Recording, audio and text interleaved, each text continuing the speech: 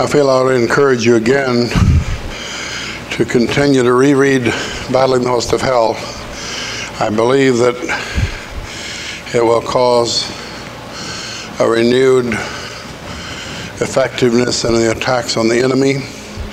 And uh, some of you have read it a long time ago. Some of you never did get to read the whole thing. I think if you'll go through it, you'll find some interesting things that you perhaps overlooked or have forgotten about. And I wrote the books and I've read them about nine times a piece since I wrote them, since they've been printed. So every time I read them, I find something new that I remember that I don't remember. And I think, wow, I'm glad I wrote that down because otherwise I wouldn't remember it. So don't hesitate to reread. God fixed those books like that just to make them useful. So I hope you will do that.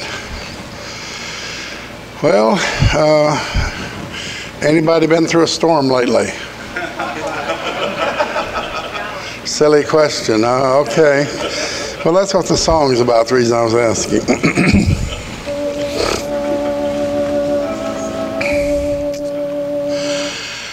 In the dark of the midnight have I oft hid my face while the storms howl above me and there's no hiding place mid the crash of the thunder precious lord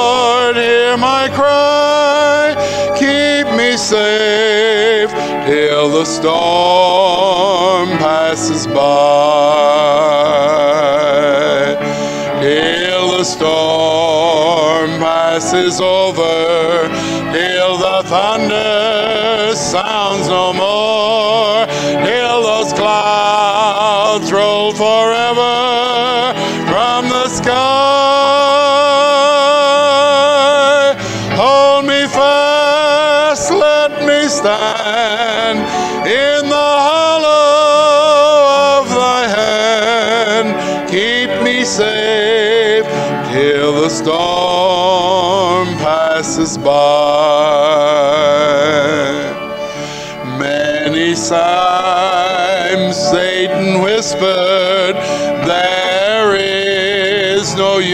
to try, for there's no end to sorrow, there's no hope by and by.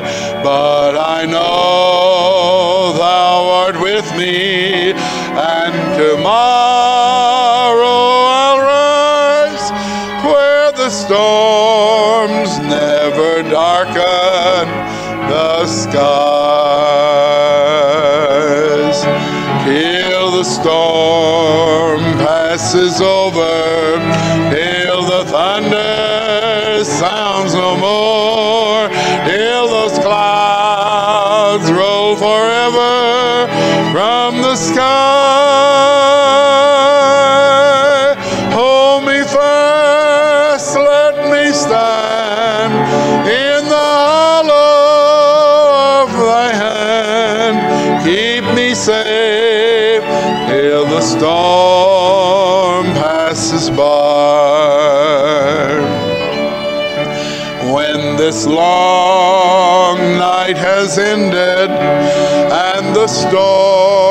come no more, let me stand in thy presence on that bright and peaceful shore in the land where the tempest never comes. Lord, may I dwell with thee when the storm passes by.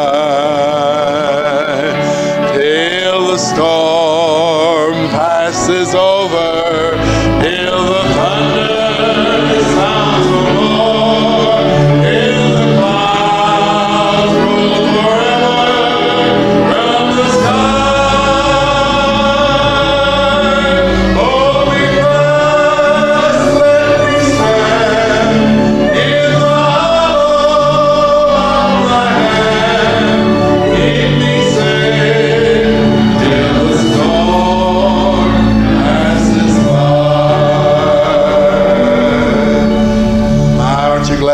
come a time when those storms are going to pass by once and for all. I'll tell you, I'll not have a single regret leaving here, will you? Praise the Lord. This whole earth's already used up, gone, kaput. And the only reason we're here is to serve Jesus and get other people saved and ready for the things that are coming. Amen. Praise the Lord. All right. Let's see if we can find something in the Bible to talk about tonight. I looked and looked trying to find something. And over in Luke 7, I found the most interesting passage. Luke chapter 7.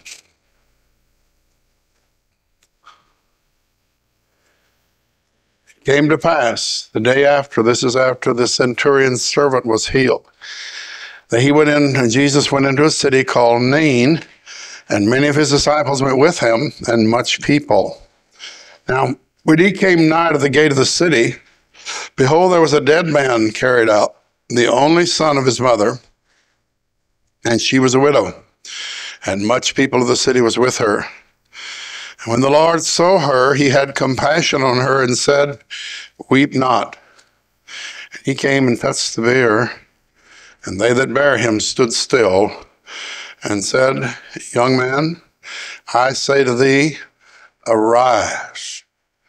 You know, he didn't even have to Shonda Mahonda or anything. He just said, Young man, I say, arise.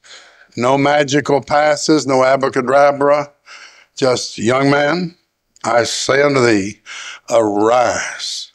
And he that was dead sat up and began to speak, and he delivered him to his mother. I'll tell you, wouldn't that be a great thing to be going to that funeral?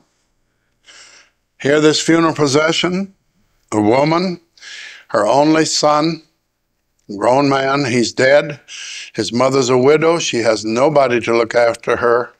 Her son now is gone, who was the one who would look after his mother, and now she's he's uh, dead, and evidently a very well liked man and woman in the community, for the much people of the city were with them at the funeral, and they were carrying this young man out to bury him.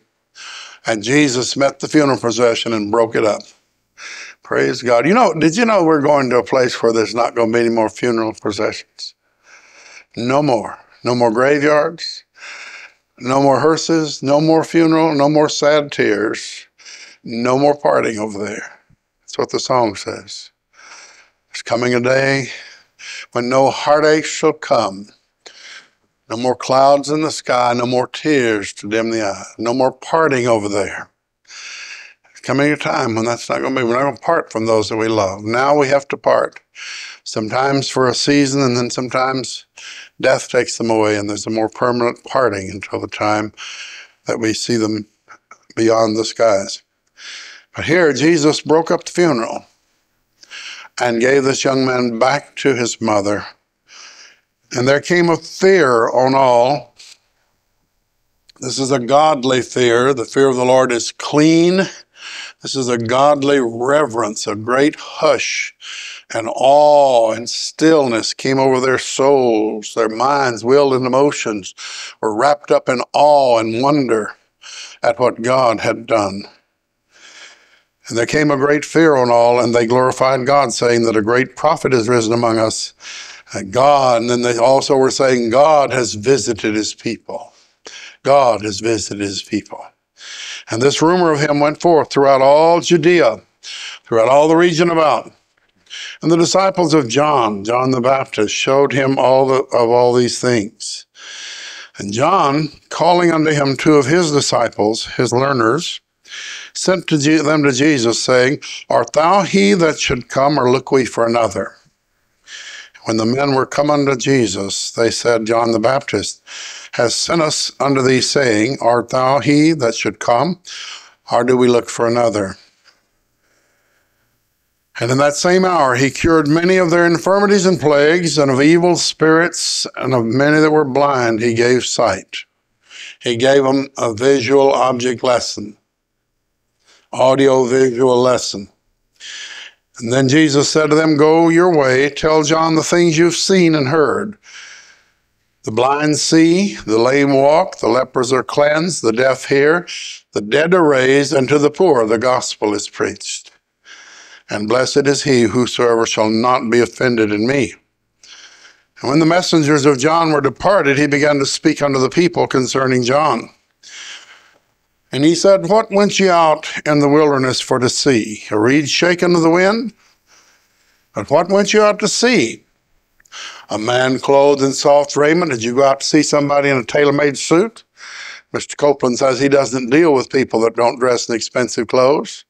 Any preacher doesn't dress in an expensive suit and drive a brand new car, obviously God's not blessing him, so he's not worth talking to. Well, he wouldn't have talked to John the Baptist because he didn't have any of those things. He didn't have a donkey to wear, and he certainly didn't have a tailor made suit.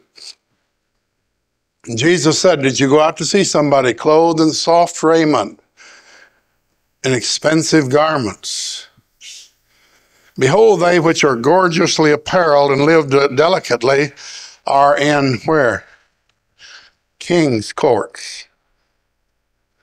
Of course, nowadays we have some people say, well, we're king's kids. Yeah, they, you might say that. You're not too particular what you say. They're certainly trying to model themselves after that, aren't they? But Jesus said, Did you go see somebody like that? He said, Well, don't you know? Those that are all dolled up in that and specialize in special dressing are those that hang around the king's courts in the palaces. But he said, What did you go out to see? You went to see a prophet. A prophet. Does that tell you something about these modern day prophets? Jesus is kind of defrocking them, isn't he? He said, You went to see a prophet? Yea, I say to you, much more than a prophet. You went out to see somebody who was more than a prophet. You don't realize what a great man this fellow was you went to see and hear. This is he of whom it is written, Behold, I send my messenger before thy face which shall prepare thy way before thee. For I say unto you, among those that are born of women, there is not a greater prophet than John the Baptist. But he that is least in the kingdom of God is greater than he. He said, John the Baptist is the greatest of the prophets. But those who are born into the kingdom of God are greater than the prophets. They have a standing that's different. All the people that heard him and the publicans justified God, being baptized with the baptism of John. People said, Well, praise God. I'm sure glad I got in on that baptismal service. I'm glad I went to hear him. Hallelujah. But the Pharisees and lawyers said, See, they were wearing the soft raiment. They were living delicately. And uh, they rejected the counsel of God against themselves, being not baptized of Him. You think they submitted to baptism? Oh, bet you bet they didn't. You remember the scene down by the river? And John was baptizing, and here they come, Dr. Smelfungus and the seminary staff. They've come to check this young prophet that they've heard about. Uh, it's necessary to check all these things out against our doctrinal portfolio to see if indeed he could be. Of course, we don't think he is, but if he could be, we've had so many people reporting that they're going to hear him, we've got to go check him out. And you remember what happened? Now, if they'd come into an ordinary meeting today, in most places, they'd say, Oh, praise God, here comes Dr. This and Dr. That and Dr. Yonder. Uh, come on up here uh, on the platform. Brothers, we're just so happy to see you. Praise God, praise God. Here's Rabbi Do Good, and here's Father uh, Religion, and here's uh, Reverend uh, this and Reverend that. and Doctor this, and we just so honored to have you in our services. Uh, you folk, little peons on the front row, would you move, please, and let these dear brothers have these front seats here.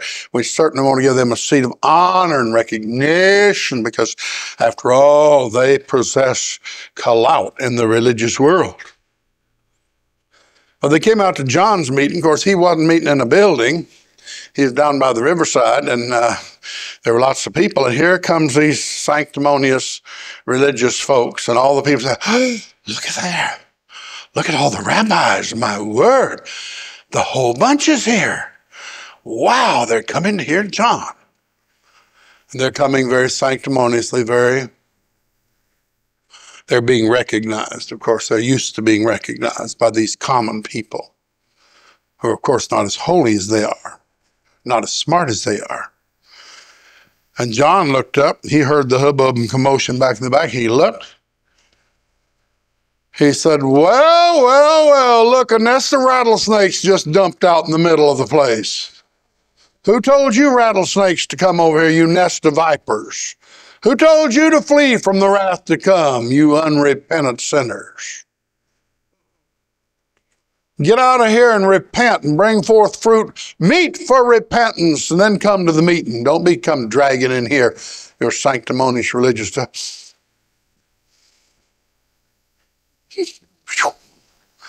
Tell you one thing, he got rid of them.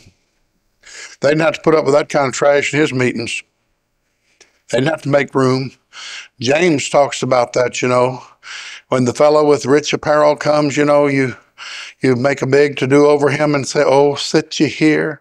And for this little fellow who's just dressed plain, you say, Oh, get out of the way, would you please? You're kind of blocking the way. Let, uh, let Mr. Rich Man sit over here. Let the lady with the diamond rings have first choice, please. She might hit the plate, you know, with something substantial. You don't look like you could do anything. I tell you what, James says you're sinning the sin of partiality. God isn't like that.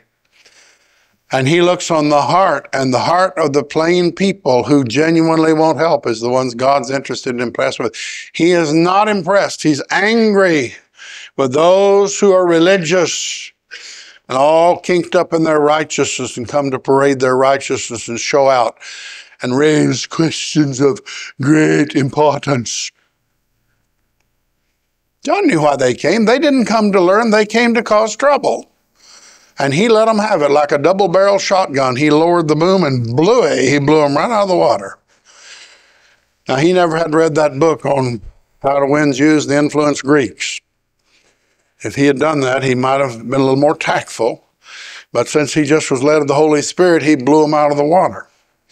Now, the Pharisees and the lawyers of course, did not receive his baptism, and they were very insulted by all these people being impressed by what. And here's Jesus coming along and backing up this vagabond preacher that had the audacity to look right straight at Dr. Smelfungus and tell him to, he was a snake. And I'll tell you something, there's probably a deeper meaning in that business about the nest of vipers I was talking to a Norwegian man who's been to Israel doing some research. And it's very likely that some of those higher ups, those big mucky mucks in the Pharisees and scribes, were actually Luciferian worshippers. And the symbol of their worship has always been the serpent. And they were very likely snake worshippers. They were very likely secret in secret. They worshiped Lucifer. Think about it. Let it soak in for a minute. You say, is that possible? Why over in, what is it, Ezekiel? Did you ever hear the sermon on the hole in the wall? Ezekiel's hole in the wall? He peeped through the hole in the wall and he saw the elders of Israel bowing down and worshiping the symbols of Lucifer and demonic religion. No wonder it stirred such a controversy. And here's Jesus backing up the one who said, There are nests of vipers Later on, Jesus will tell them when they get all upset with him, they'll say, We be sons of Abraham. We don't know who you are. We heard you were born under a cloud. Who's your father?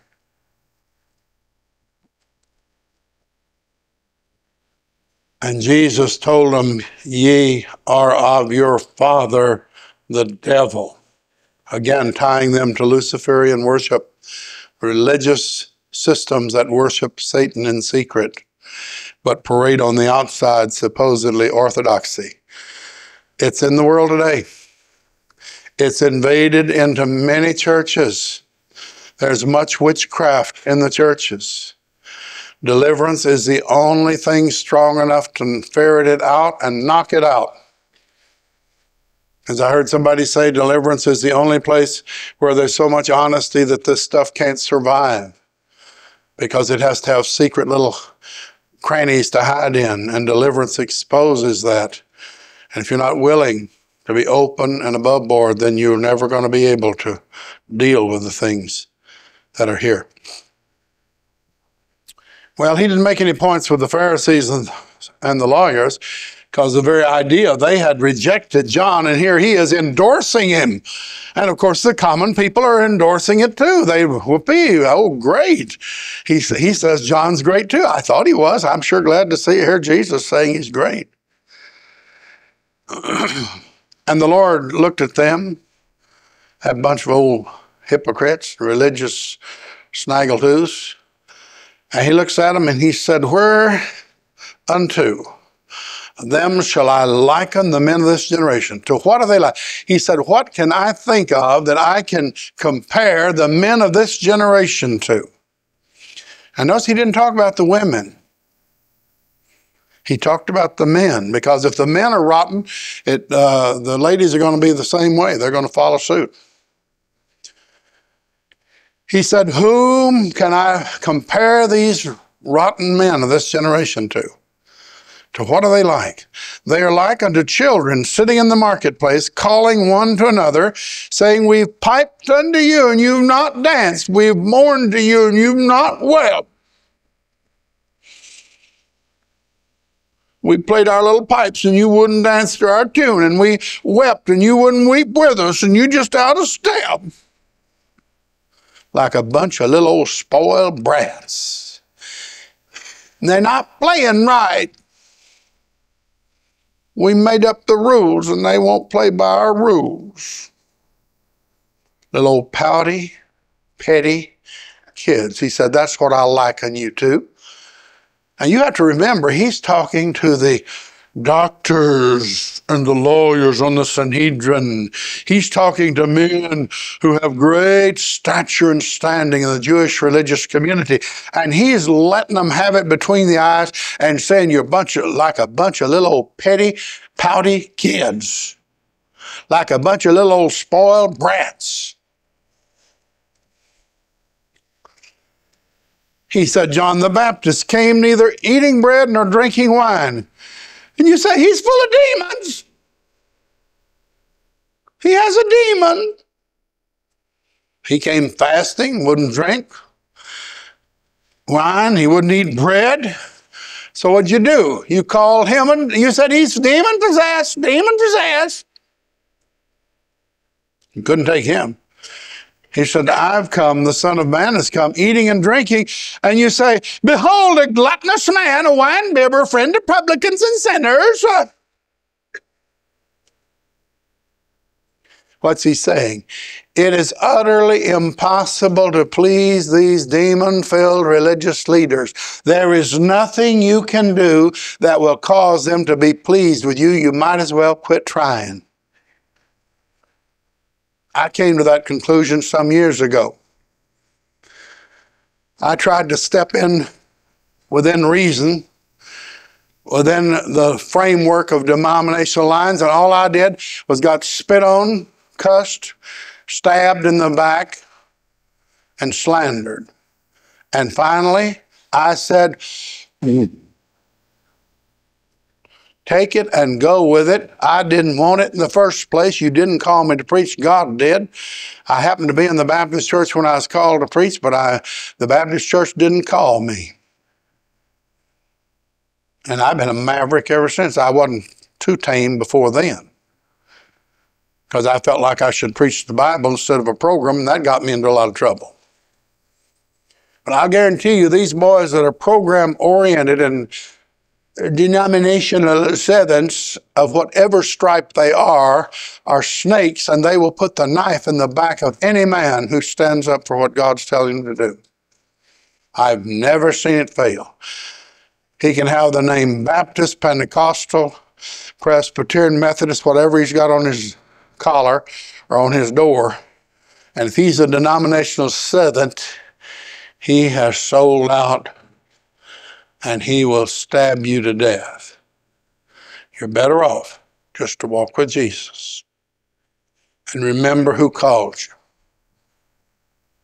And Jesus said, John the Baptist came fasting and praying, wouldn't drink any wine. You said, He's crazy. He has demons. He's embarrassing. Jesus came and he ate. He sat down, was social, went to people's houses and ate and drank with them. Look at him, glutton, wine bibber. He associates with publicans and sinners. Now look us holy folks. He said, There's no satisfying you turkeys. No matter what we do or don't do, you're not going to be satisfied because we're not your bunch. And it isn't surprising. Over in First John, and it says, Love not the world, neither the things that are in this world. If any man love the world, the love of the Father is not in him. Now, that's in one of the Gospels. Love not the world, neither the things that are in the world. If any man love the world, the love of the Father is not in him. And if the world loves me, Jesus said, they'll love you. Did they love him? Then if you walk with him, will they love you? No. Never. They may tolerate you, they may be afraid of you, they may back off from you, but they're not going to love you. And the more you become like Jesus, the more the world's going to hate you. Did that stop Jesus from walking with in the will of the Father?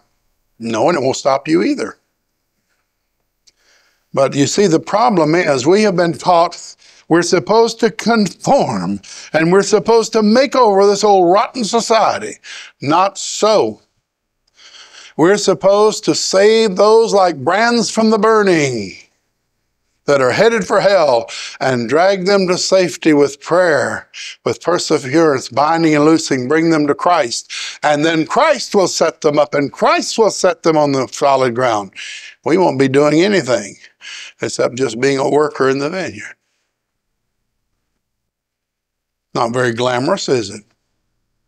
You want to be a brand jerker? That's what you're supposed to be, snatching them like brands from the burning.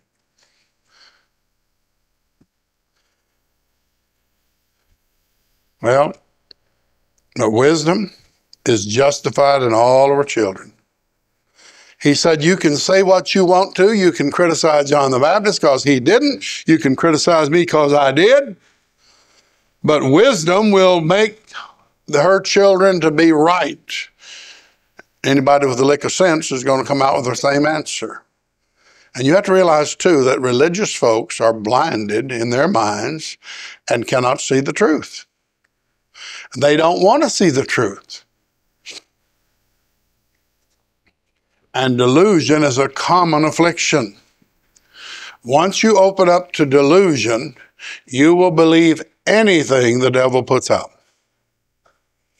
One of the most dangerous trends of the church today is the feminization of the church, which we've been scoring in the in the uh, workshops, and will continue to do that because Ever since things began, the devil has been trying to set a female deity at the head because he recognizes if he can do this, he will destroy the power of the church of Almighty God. I believe that God wants to restore that, and all of the charismatics and all of the restoration movement and the word faith movement, you've got all these women preachers, co pastors and invariably, the woman can preach better than the man. It's not surprising. He's an Ahab. She ought to show him up. And let me tell you this again, let me emphasize no matter how many people are saved, no matter how many buildings are built under the leadership of that sister, she will get absolutely zero minus credit in heaven, and she's going to have hell on earth for it. You mark it down. Before things are over, she's going to pay a price that's much higher and when she gets to heaven, even the good that she's done will not be remembered because it's out of order. Souls will be saved, but they won't be credited to her account because she was out of order. So don't get the idea, sister, you're going around here and evangelize the world. You go ahead, but you'll sure be vacant in heaven. And I'm going to stand and look at you and say, I told you so. You'd have been better off staying Hagbush and minister, then you could have gotten credit for heaven. You could have ministered. There were many wonderful things God could have done with you. But you ran and grabbed the reins, and that's what God didn't want you to do. And by the way, it'll kill you too. Did you know grabbing the hold the wrong thing will kill you? You say you got scripture for that? Oh yes, you bet. You remember when the Philistines had so much trouble with the ark. That was funny. That's a funny story. You ought to read it someday. If you, if you like comic stories, you know, funny stories, just real funny. The Philistines had the Ark of the Covenant. And of course, since it was a sacred thing, they hauled it right into their temple of Dagon, the fish god, old Leviathan, stand up there. And uh, they hauled it into the temple of Dagon, put the ark right in front of it. And the next morning, when they went in, Dagon was laying on his face right in front of the ark. And they came in, oh, what happened? My goodness, something, oh, we must have had an earthquake something. They get busy and they, they prop him back up on there, you know. And I remember whether he took two or three dives before he broke all to pieces. Every night, while they were gone, Dagon decided to bow. Down he went, right before the ark. And they finally, you know, as dumb as they were, those heathen finally got the message. And they decided this was a terrible thing. Let's get it out of here. And they loaded it on a wagon, this big old gold box. They loaded it on a wagon. And they were scared of it. Ooh. I mean, you know, after all, their chief god Dagon falls on his face right in front of the thing. Wouldn't you be a little afraid to touch it? But they, they had to get it out of there. They got it out of the temple, put it on a wagon and started back. And they notified, I believe it was notified David they could have it back. They didn't want it. And they sent to get it, you know, and they were bringing it on the wagon.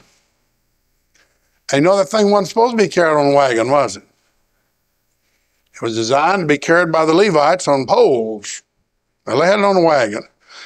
And it was coming along, and everybody was jumping up and down. Hallelujah, praise God, praise God. The ark is back, the ark is back. And uh, the thing started hit a bump or something, a rut in the road, and started, the thing started sliding off. And two young men, just as zealous and eager as they could be, shouting hallelujah, ran up to steady it, and the minute they touched it, they dropped dead. God said, I didn't want anybody but Levites touching my box. I guarantee nobody touched it but the Levites after that. And if it takes that in this wicked day we live in, God can strike some people dead to demonstrate what he means. And it may take an Ananias and Sapphira dropping dead because they lying to God in the church to turn the church around. God's capable of doing that too. He's done it before, so I wouldn't be surprised. Would that be exciting? I guarantee you'd walk softly. We're going into that place where that man lied to God and he dropped dead, and his wife came in later. She did the same thing. She dropped dead. Had two funerals in one day. They were slain in the spirit and they buried him. See, there's, there's a way God wants things done, the way He doesn't want it done. And if you do it the wrong way, he's liable to knock the stuffings out of you. You said, oh, I don't believe that. I've seen so. I don't, just because he hadn't done it doesn't mean he can't. And you can't ever tell just because I'm preaching it, it may be opening the door for him to do something. You never know. How about that? You ever thought about what a if somebody came up here and stood up to testify and said, I'll tell you, I've repented, and a bolt of lightning fell and hit them, they knocked them on the floor.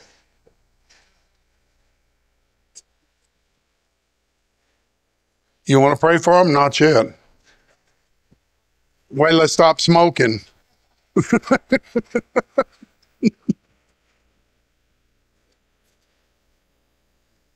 I mean, you know, there's a lot of things could happen that God hadn't done yet, but He's quite capable of doing some strange and wonderful things. Of course, if that were to happen, then everybody would come rushing in to see it. Well, I don't know whether everybody would come or not. Some might decide that might be another lightning bolt in reserve, might get them. But we ought to realize we're dealing with a God who's quite capable of taking drastic action to correct things when they get out of hand. Well, uh, one of the Pharisees comes in verse 36 and asks him, Would you please come and eat with me? He said, All right. So he went to the Pharisee's house and sat down to meat. And behold, a woman in the city, which was a sinner. Uh oh, bad gal. When she knew that Jesus sat at meat in the Pharisee's house, she brought an alabaster box of ointment, stood at his feet, behind him, weeping, and began to wash his feet with tears. Remember, he's when they ate, they reclined on a kind of a couch like they leaned up on one elbow and ate, and they kind of stretched out on a couch behind the table. That's a pretty nice way, you know. You can take a nap while you between courses. Anyway, that's the way they ate. And so, as they were there, she came up behind him, and as his feet were out and back, she began to weep, and her tears fell on his feet. And she washed his feet with her tears. What do you suppose she's crying about? I don't know. Why'd you cry when you got real close to Jesus? Why did the tears flow so? Hmm? I imagine that's why hers flowed too. When she got close to him, and she began to wipe his, uh, wash his feet with her tears, and she wiped them with the hairs of her head. She kissed his feet and anointed them with the ointment. Now the host is watching this disgraceful procedure. He's too polite to say anything outside, out loud. He's one of these nasty, nice folks. He thinks it, but he doesn't always say it out loud. And he saw it and he spake within himself. He thought to himself, this is what he was thinking. This man, if he were a prophet, would have known who and what manner of woman this is that touched him, for she's a sinner. He's liable to get AIDS.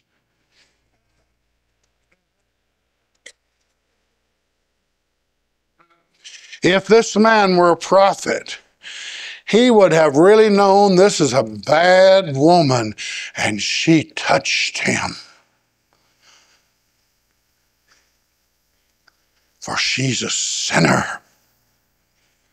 And he was despising Jesus. Now, he just says this inside, he didn't say it outside. And Jesus answering his thought how embarrassing to sit at the table with Jesus when you don't have to say anything, he just answers what you're thinking.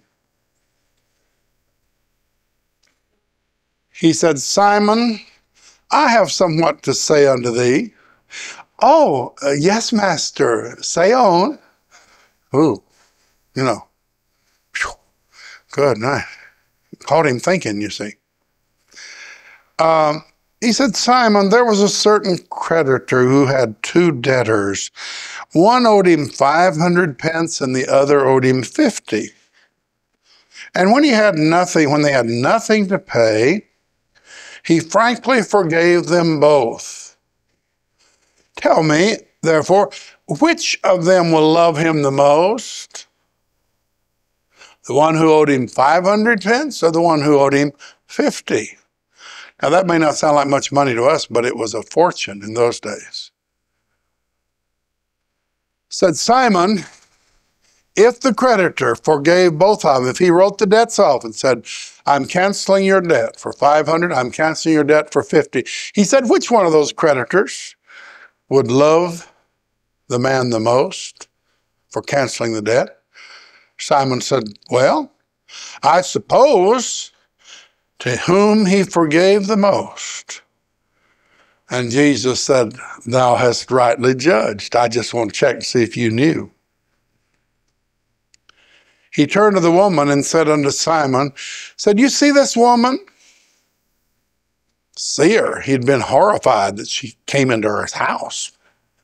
Ooh, ooh, how did she get past the servants?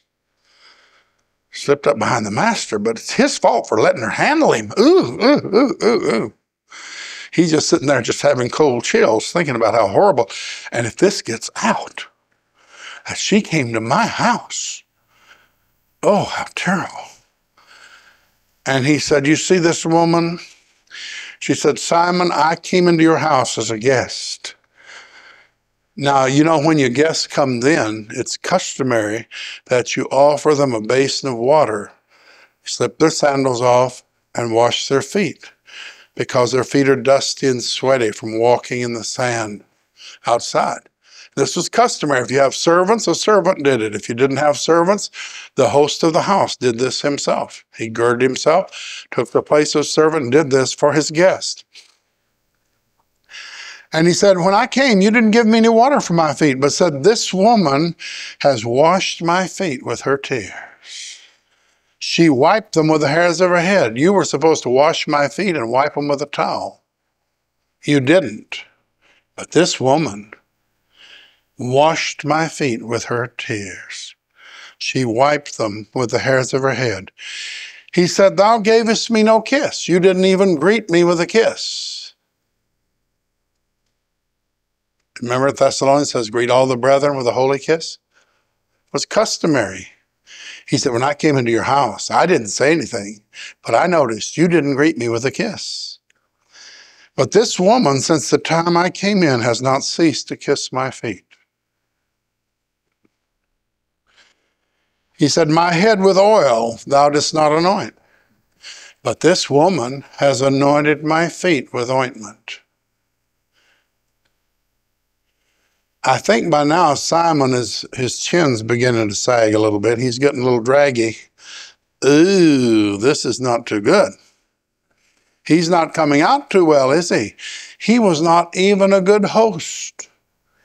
And yet he'd been sitting in judgment on a woman who rushed in in gratitude to show her love and gratitude to the Savior. Verse 47 Wherefore I say unto thee, her sins, which are many, oh, you're right, she's a sinner. Her sins, which are many, are forgiven, for he, she has loved much. But to, to whom little is forgiven, the same loveth little. Now, let me hasten to say this. When I read this through earlier, it occurred to me just because you haven't been forgiven much doesn't mean you don't need a lot of forgiveness. Forgiveness you must accept. And some people have accepted a little forgiveness and they need a whole lot. This woman loved much, for she had received gladly much forgiveness from the Savior. And some people, the reason they're so stingy, so proud, so arrogant, so useless to the Lord, so full of pride and pettiness, and so the reason they're so wrapped up in the things of this world, the reason they cannot get above the littleness and the pettiness of their lives, the reason they spend all their time picking other people to pieces, is because they have been forgiven very little. You see others who go on and on and beyond the call of duty, and they just go on and they give and they give and they give. You know why? Because they have been forgiven much, much. And as you move in and begin to understand the dreadful state of your soul, the dreadful state of your mind, will, and emotion, your body, and you begin to understand what Jesus has rescued out of. And as you accept and receive more and more of His forgiving grace, this grace will transform you into a bond slave of Jesus Christ. This woman had been forgiven tons of sin because she was willing to admit she had them. See, some people can't be forgiven because they won't admit they have a sin. If they do something and cause a problem, they immediately say, It's my wife's fault. It's the preacher's fault. It's the church's fault. It's my husband's fault. They never accept blame for the things they cause themselves. Instead of saying, I was an idiot, a brainless one at that. Some of them will even get to the place where they say it with their mouth, but they don't mean it in their heart. So it still means nothing. And they are forgiven little. And therefore they love little. That's why they have little love. Now, in the light of that, do you understand why I don't get so upset with some people who have such a teeny little speck of love that they're constantly in a stir of jealousy and about other people? Because I know what's the matter. They need great forgiveness. They need great grace in their life. But instead of that, they have stopped short and said, I have all I need now. It's my turn to sit around and I'll decide about everybody else now. Whereas if they have received great grace and great forgiveness, they have a tendency to want to reach out and help those who honestly are struggling to get free from sin. It makes the difference, as the old saying goes, between the men and the boys, between the women and the gals. It makes a difference because those who have experienced much of the grace of God will have much grace to reach out to others with. And they're the ones who are going to make a mark for Jesus. And you know, those who have small forgiveness, small, well, it didn't take much for God to get me, you know. After all, I was well nigh perfect before He got me. Little twist, a little tune up here and there is all it took to get me straightened out. Those kind of people never get far with God, while the others are doing all kinds of wonderful things for the Lord. Why? Because they pull out all the stops and say, Lord, you love me so much. The best, the only way I can show you how grateful I am is to try to turn around and love somebody else and try to reach out to them and help them. Those who love little have been forgiven little. Not because they don't need to be forgiven, but because they won't receive it. Remember that. The faucet's on your side. How much grace do you want in your life? You say, Well, I'm trying trying to get grace. And I just go in there and I sit there with that little old cup under there and just goes drip, drip, drip. It just takes forever to get even a swallow of grace. Hey, I got news for you. You see that thing on top? You twist that thing. The control is on your side of the fence. The lines are full. The grace of God faileth not. It's up to you to open the spigot wide, and you better jump for your life because you open it wide enough, it'll splash all over you. There's that much grace in there. I mean, there's great power and pressure of the grace of God to come forth. You and I control how much of the grace of God will come into our lives. And the amount of grace that comes into our lives through forgiveness, and that's how you get it. You'll never be gracious until you've been forgiven. You'll never be forgiven until you admit it, that you need it. You can't walk around being proud and blaming everybody else. You've got to admit from the depths of your soul, I am guilty. It's my fault and nobody else's. And down deep inside, you'll find something saying, No, it isn't. It really isn't your fault. You shouldn't feel so bad about it because everybody does that. Well, then you got to go down in there and bore that thing out and get rid of that until you can say with all your soul, I know it's my fault, Lord. Please forgive me. And then the grace of God will come just like a gully washer through there. And when the grace of God comes through you, that equips you to reach out to others who are desperately struggling for help. Those who have been forgiven most will experience most of the grace of God. And there's no use in you getting jealous of somebody else who's full of grace and graciousness and who's able to be used of God. It won't do you a bit of good to get all upset about it because the way you get there is to receive that unbelievable, as one of my Bible teachers used to say, the abounding, astounding, amazing grace of God. The most amazing thing in the world is the grace of God. And by receiving this through forgiveness, it equips you to turn around and be a blessing to the people around you. Now, Jesus said, Her sins, which are many, are forgiven, for she loved much. Verse 47. But to whom little is forgiven, the same loveth little. Little love, little forgiveness, not because it's not needed, but because it has not been received. Now, this will help you to understand people who are in among you, who somehow they just never can get above a certain level in their Christian life. They never can get moving. It's because they have not been forgiven.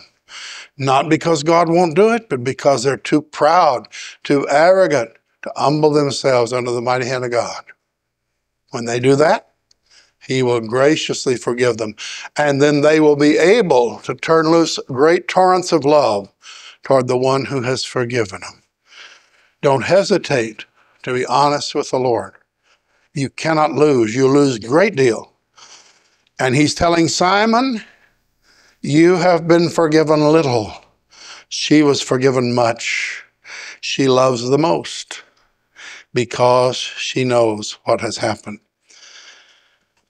He looks at her and says, Thy sins are forgiven. They that sat at meat with him began to say within themselves, Who is this that forgives sin also? Uh oh, we're off on a religious merry-go-round. Here we go. Whoopee. Uh, how does he get off this forgiving sin? Who told him he could do that? Well, his father, for one. And he said to the woman, Thy faith has saved thee. Go in peace. The Holy Spirit drew her, convicted her. She wept. And her actions were a, an offering to Him of the contrition of her heart, of her repentance. We are not, it's not recorded she said a word, but she demonstrated her repentance. And Jesus forgave her and she became a very wonderful example of what can happen. And you can be a trickle or a river, depends on what you want to do. But don't sit around and gripe because your cup's still dripping. He says it's been dripping for two days and it's still not full. I'd suggest you check and see if God can't forgive you some things that you haven't dealt with yet. Dig deep. Well, I don't mean you have to make up something. You've got enough in reserve. I don't think you have to make up anything. I think you you just be honest with the Lord. He'll unearth a few things that you've overlooked. Uh, you know, conveniently and sweetly and nicely. But if you'll start being completely honest with the Lord, you'll be surprised how the fountain of grace will open up. And as grace comes flowing out, and as you begin to appreciate what God has done for you, and His grace begins to motivate and move you, you're going to, you're to flow with the Lord. And this will be an individual thing. It won't be something you'll run around and brag and bray about to the housetops. It'll be something that'll change your life, change your outlook, change your attitude, change the way you work, change the way you live, and it'll change every day. I say it's worth looking into it. And how do we do this? Well, it's right up here on the wall. If we confess our sin, He's faithful and just to forgive us our sin, cleanse us from all unrighteousness. That's like soap. You need to use it every day. You say somebody said, Well, I used it last week. Were you ever around somebody who used soap last week? You can tell it too, can't you? There's a need for a refreshing. Soap is like 1 John 1 9. It needs to be applied as often as necessary. I'll let you decide when to apply it. But if people come around you and they begin to go, if they're beginning to pick up spiritual sense, it may be that you need a little more often.